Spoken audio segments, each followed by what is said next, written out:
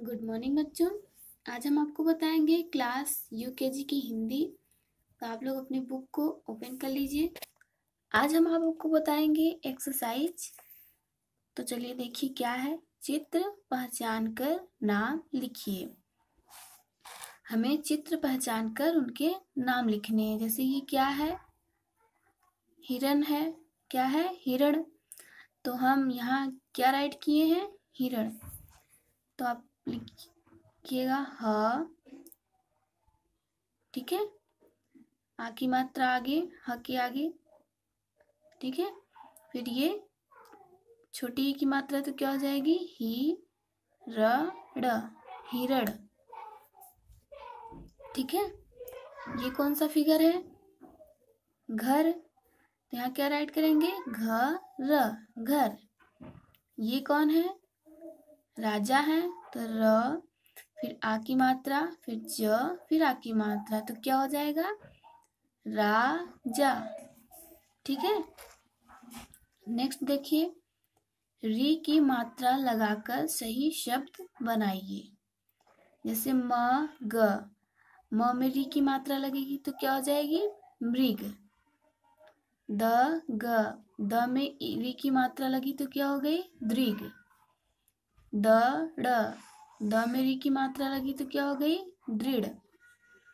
मा, त। मा, म। आ की मात्रा? मा। फिर त त में री की मात्रा लगी तो क्या हो गई? मात्र। क। ठीक है? आ की मात्रा? आ की मात्रा भी क्या लगी है? छोटी की मात्रा तो क्या हो गई? फिर ये क्या है? श तो क्या हो गया? कशी। हम यहाँ पे क्या राइट करेंगे? राइट क्या होगा यहाँ पे? क क पे री की मात्रा तो क्या होगा? क्री क्या हो जाएगा? सी कृषि। क्या दिया है? क, प, आ की मात्रा, कपा। तो क पे हम री की मात्रा लगाएँगे तो क्या होगा?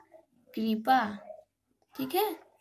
तो देखिए, म, त, क मतक म पे री की मात्रा लगाएँगे तो क्या होगा? मृत त क मृतक। अ, म, त त पे आ की मात्रा तो क्या हो गया? अमता। यहाँ पे क्या होगा? अ म पे री की मात्रा लगाएँगे तो क्या होगा? अमृता अमृता। ठीक है? यहाँ देखिए क्या दिया ह? द, य। हम ह पे री की मात्रा लगा देंगे तो क्या होगा? हृदय। ठीक है? नेक्स्ट देखिए। सही शब्द चुनकर वाक्य पूरा, पूरे की, कीजिए। ठीक है? सही शब्द चुनकर वाक्य पूरे कीजिए। देखिए यहाँ क्या दिया है? अ, म म पे री की मात्रा, अमृत एक, क्या था?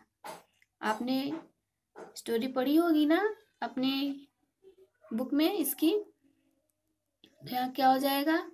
अमृत एक क क पे री की मात्रा कृषक है। क्या है? कृषक। म म पे री की मात्रा तो क्या हो जाएगा? मृग के क्या थे? द द पे री की मात्रा तो क्या हो गया? मृग के दृग। बहुत सुंदर है। क्या है? बहुत सुंदर है। आगे देखिए। के नीचे एक ऋषि बैठे हैं। किसके नीचे एक ऋषि बैठे हैं? वृक्ष के। हम यहाँ पे क्या राइट करेंगे? वृक्ष। व व पे री की मात्रा, फिर छ। क्या राइट हो गया? वृक्ष। नेक्स्ट क्या है? म म पे री की मात्रा, मृग, चल रहा है। मृग कहाँ चल रहा है? हम्म? तृण पर। तो हम यहाँ क्या राइट करेंगे? त त पे री की मात्रा, फिर र तृण आपकी एक्सरसाइज यहाँ पे कंप्लीट हो गई।